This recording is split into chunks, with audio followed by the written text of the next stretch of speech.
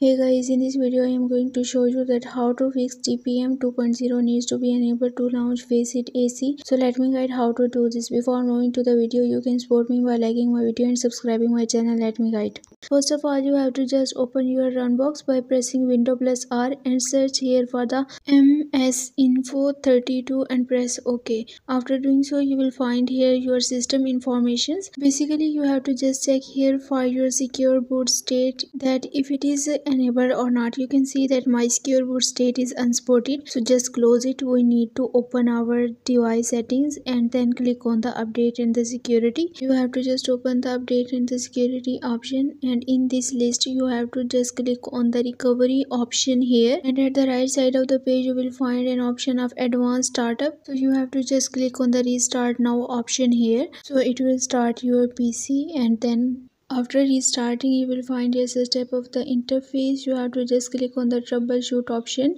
and then click on the advanced options and then click on UEFI firmware settings. After doing so you have to just click on the restart option here like this and then you will find this type of the interface. Restarting and you can see that your secure boot has been enabled and now you have to just click on the exit setup option and then click on the yes. And then try to relaunch your Faceit AC after doing so your problem will be fixed. I hope this video will be helpful for you. For more information visit my website whose link I have shared in this video's description.